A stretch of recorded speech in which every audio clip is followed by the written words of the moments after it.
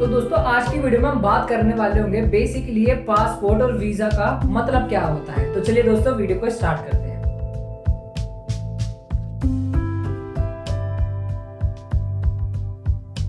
तो बेसिकली जब किसी पर्सन को एक कंट्री से किसी दूसरी कंट्री में जाना होता है, तब उसको पासपोर्ट और वीज़ा की ज़रूरत पड़ती है। तो बेसिकली पासपोर्ट वो कंट्री इशू करती है जहाँ पर वो पर्सन रह रहा होता है।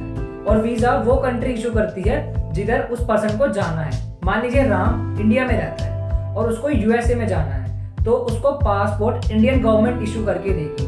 वो एक प्रकार से ये एविडेंस होगा कि राम इंडिया का रहने वाला पर्सन ही है। जबकि जो वीज़ा होगा वो यूएसए की गवर्नमेंट इशू करेगी। वो उसको अलाउ करेगी कि वो यूएसए में आ सकता है, जिस काम के लिए भी उसने वीज़ा अप्लाई किया है। तो आई होप आपको समझ आया होगा कि पासपोर्ट और वीज़ा का मतलब क्या होता है। तो दोस्तों, अगर आपको वीडियो पसंद आई तो वीडियो को लाइक करो, चैनल पे नए हो तो चैनल को सब्सक्राइब करना ना